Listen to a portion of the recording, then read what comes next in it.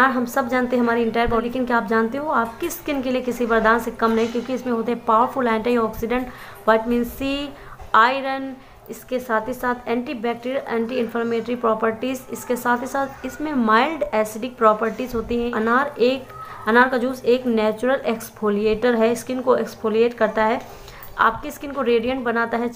Hello everyone welcome back to my channel कैसे आप सब? I hope you guys are well दोस्तों इन सर्दियों सर्दियों में हमारी स्किन बहुत ज़्यादा ड्राई हो जाती है डार्क हो जाती है क्योंकि क्योंकि हम बहुत ज़्यादा सन एक्सपोजर करते हैं, यानी धूप में बैठते हैं। या इसके अलावा धूल, मिट्टी पोल्यूशन के कारण स्किन काफ़ी जो ज़्यादा डैमेज हो जाती है डल हो जाती है। इसके अलावा एक और समस्या है क्योंकि हम इन दिनों काफ़ी ज़्यादा मॉइस्चराइज़र का इस्तेमाल ज़्यादा करते हैं। जो मॉइस्चराइज़र्स होते हैं हमारी स्किन को मॉइस्चराइज तो बहुत अच्छे से करते हैं, लेकिन उसके साथ ही साथ छीन लेते हैं हमारी स्किन का वो वो फेयरनेस यानी वो जो स्किन में ब्राइटनेस होती है वो कहीं ना कहीं कम कर देते हैं। स्किन ऑयली ऑयली लगती है यानी देखने में क्योंकि मॉइस्चराइज़र का अप्लीकेशन हम दिन में दो से तीन बार करते हैं।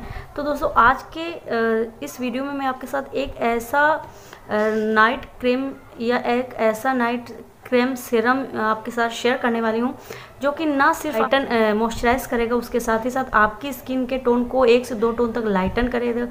करेगा। इसके अलावा आपके स्किन को ब्राइटन करेगा। इसके साथ ही साथ अगर आपके स्किन में रिंकल फाइलेंस यानी समय से पहले आने लगे हैं स्किन को टाइटन करेगा। स्किन से झुर्रियों को कम करेगा। स्किन में एक ग्लो ऐड करेगा। हाँ। आज की वीडियो में मैं आपके साथ एक ऐसा potent night serum cream share करने वाली हूँ जो कि बेसिकली बनने वाला है पोमोग्रेनेट यानी अनार।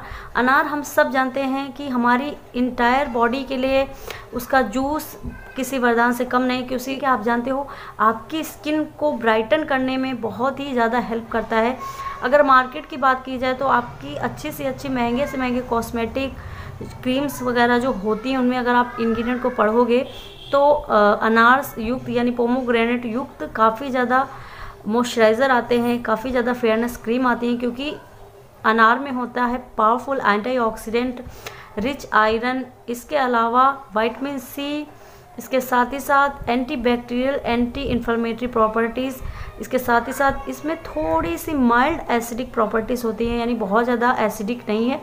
वो जो एसिडिक प्रॉपर्टीज़ है, वो यहाँ पे क्या वर्क करता है कि आपकी स्किन को ना सिर्फ़ फेयर करता है, यानी ब्राइटन करता है, उसके साथ ही साथ आपकी स्किन में जो डेड सेल जमा हो जाते हैं, क्योंकि हमारी जो स्किन है, हर चार वीक में अपने पुराने सेल्स को छोड़ देती है, लेकिन कहीं ना कहीं हम जब स्किन केयर अच्छे से नहीं करते तो वो सेल्स हमारी स्किन में चिपक जाते हैं, जिसकी वजह से हमारे पोर्स ये जो पोर्स हमारे क्लॉग हो जाते हैं, जिसकी वजह से पिंपल्स एक्ने दाने tiny bumps white head black heads ये सारी चीज़ें होती इसके साथ। यानी कि एक सिंपल सा ये इन इंग्रेडिएंट सबसे पहले तो आपकी स्किन के जेड जितने भी डेड सेल हैं उनको रिमूव करेगा।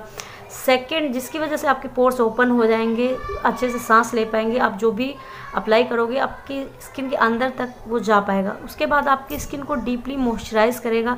स्किन की मॉइस्चराइजिंग सबसे पहली ज़रूरत है सर्दियों में, क्योंकि वो ब्राइटन करेगी, यानी एक से दो टोन तक आपकी स्किन कलर को लाइटन करेगी, ब्राइटन करेगी, फेयर करेगी। फोर्थ, आपकी स्किन को टाइटन करेगी, यानी कि रिंकल्स फाइन लाइन्स अगर आपकी स्किन में आ रहे हैं उनको भी ये धीरे धीरे अगर आप इसे लॉन्ग टर्म में यूज़ करते हो इन सर्दियों में, हर वीक आप बना के रख के इसको, पूरा हफ़्ता यूज़ कर सकते हो। तो आपकी स्किन में रिंकल्स फाइलेंस के अपीयरेंस को कम करेगी। फोर्थ वाइटमिन सी है क्योंकि तो सन डैमेज से आपकी स्किन को बचाएगा। उसके साथ ही साथ आपकी स्किन में जो दाग धब्बे हैं स्किन अनइवन है, उसको भी ये कम करेगी। अगर आप इसको यूज़ करते हो एज इट इज़ जिस प्रकार हमने वीडियो में बताया है। तो दोस्तों देख लेते हैं किस प्रकार हम इस रेमेडी को बनाने वाले हैं।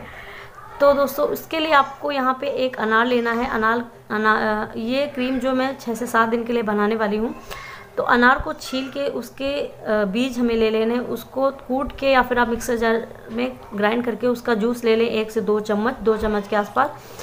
उस जूस में हमें अब मिक्स करना है aloe vera gel aloe vera gel में अगेन एंटीऑक्सीडेंट होते हैं रिंकल्स को दूर करता है वाइटमिन ई होता है, यानी न्यू सेल्स को जनरेट भी करता है। तो इसमें दो चम्मच एलोवेरा जेल का मिक्स करें, उसके बाद, क्योंकि इस क्रीम का जो बेस है वो एलोवेरा जेल है तो यहाँ पे दो से ढाई चम्मच के आसपास एलोवेरा जेल का मिक्स करें।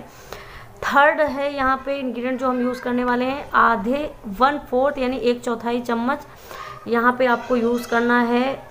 बादाम के तेल का, बादाम का तेल भी हमारी स्किन को बहुत डीपली मॉइस्चराइज करता है। जितने भी ड्राई स्किन वाले, वालों के लिए अगर कोई क्रीम आप पूछोगे तो बादाम युक्त क्रीम ही रिकमेंड की जाती है। इसके अलावा कॉस्मेटिक वगैरह में आपने देखा होगा, बादाम का, बादाम के तेल का बहुत ज़्यादा यूज़ किया जाता है। उसके बाद इसमें ऐड करें हमें पाँच से छः बूंदे यहाँ पे ग्लिसरीन का।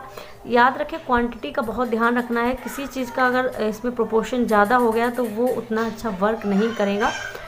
तो उसके बाद इसमें हमें ऐड करना है रोज़ पेटल पाउडर एक चम्मच, यानी कि गुलाब की पत्तियों का पाउडर अगर आपके पास गुलाब का पाउडर नहीं तो आप मार्केट से ला सकते उसके बावजूद अगर नहीं है तो यहाँ गुलाब के, गुलाब जल का भी इस्तेमाल कर सकते हैं। एक चम्मच गुलाब जल इसमें मिक्स कर दें।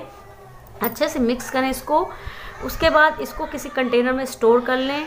इसको किस प्रकार हमको अप्लाई करना है, इसको लेकिन फ्रिज में स्टोर करें। डेली आपको इस दिन में इसको दो बार अप्लाई करना है, सुबह ऑल ओवर फेस में अप्लाई करके मसाज करना है पाँच मिनट के लिए, उसके बाद रात में सोने के पहले अप्लाई करना है। किस प्रकार अप्लाई करना मैं आपको करके बता देती हूँ। सबसे पहले अपने आप को फेस को अच्छे से क्लीन करना है। क्लेंजर से स्किन ड्राई है तो यहाँ पे कच्चे दूध का कॉटन की सहायता से फेस साफ़ करें। सीरम बनाएँ, इसको ऑल ओवर चेहरे पे अप्लाई करें। उसके बाद इसको मसाज करें सर्कुलर मोशन में अपवर्ड बाहर की तरफ़, यानी कि जी आती हैं तो आप सर्कुलर मोशन में कर सकते हो।